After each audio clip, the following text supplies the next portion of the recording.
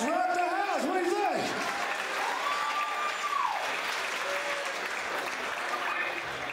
This little song about our city. It's got a little bit of Jimmy and Hendrix, got a little bit of Freddie King, and got some Henry Ford in it. It's called The Struggle.